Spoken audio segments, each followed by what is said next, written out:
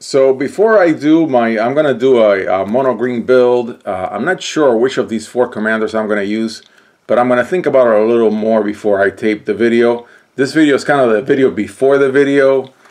I have to say, and it's a shame that I cannot get comments from, from you all, I'm kind of puzzled with Theros too. I don't know what the designers were thinking. Uh, the set itself is kind of like the Devotion set without Devotion. I played a ton of Theros Devotion. I played every color of Theros Devotion a lot. Matter of fact, my main deck for a good two years as a casual player on, um, on Magic Online was a mono green deck, uh, stand, uh, modern mo mono green deck that was just beastly. I mean, it was a ton of fun with Nykthos and the whole nine yards.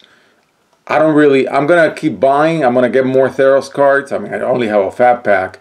And I'm to get a couple of toolkits, one toolkit for each selection. I'm definitely getting another fat pack because, man, the, the fat pack cardboard is just like delicious. I really got to get more of that. Uh, of course, I'm to test out to see if uh, the normal packs have the same cardboard. If they do, I'll get more packs as well. I will get more packs.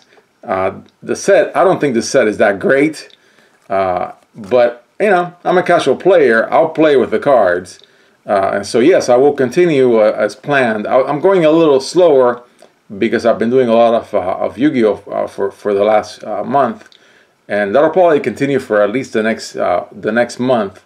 But I will weave in. I, I want to do devotion, so I'm going to do devotion to green selection one.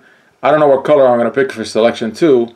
Uh, I may I may expand uh, and get out of standard and just go full commander just to make uh, devotion work because all the really good devotion cards, the recent ones at least, are in Dominaria, uh, the triple the triple uh, uh, mana ones, and they're also in Throne of Eldraine. So I may actually go back and get more Throne of Eldraine.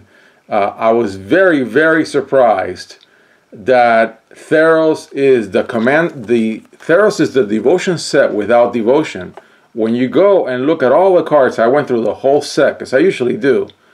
There are rare, very few cards with triple mana that is that has devotion. Especially, you really want in your devotion decks a uh, three mana symbols that are you know triple green.